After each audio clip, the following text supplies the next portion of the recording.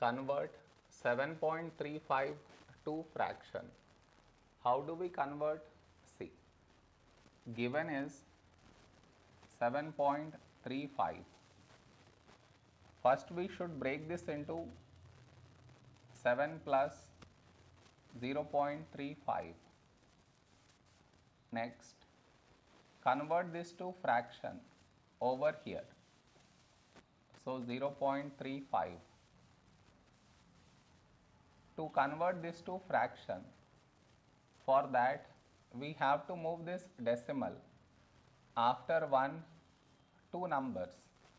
To move this decimal after two numbers, for that multiply it with 100. Whatever you are multiplying in the numerator, in the denominator also do the same. Next, 0.35 into 100, 35. 1 into 100, 100. I now cancel with 5. 5 sevens, 5 twos, this 0 as it is down. So the fraction we got is 7 by 20. Now here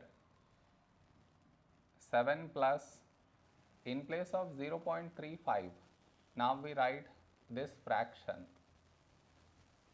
7 by 20. 7 plus 7 by 20. In mixed fraction it is 7 7 over 20 and in improper fraction it is 7 into 20 140 plus 7 147 by 20 is our fraction